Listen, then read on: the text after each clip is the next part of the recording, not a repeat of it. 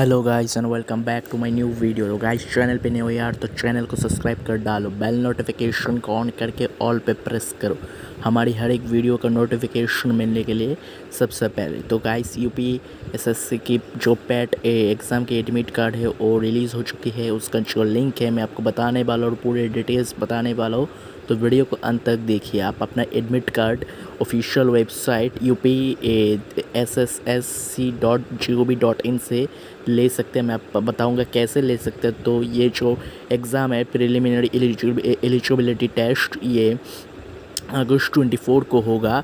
पहले ये शेड्यूल था अगस्त ट्वेंटी अभी चार दिन और बढ़ा दिया गया है। अगस्त ट्वेंटी फोर को एग्ज़ाम होगा, जैसा कि आप लोग देख सकते हैं। और इस साल बीस लाख से भी ज़्यादा कैंडिडेट्स है इस एग्ज़ाम के लिए सेवेंटी फाइव डिस्ट्रिक्ट है, उत्तर प्रदेश के सेवेंटी फाइव डिस्ट्रिक्ट में होगा। और ये एग्ज़ाम जो है टू शिफ्ट में होगा। फ़र्स्ट शिफ्ट होगा सुबह के दस बजे से दोपहर के बारह बजे तक और नेक्स्ट शिफ्ट दोपहर के तीन बजे तक तीन बजे से शाम के पाँच बजे तक।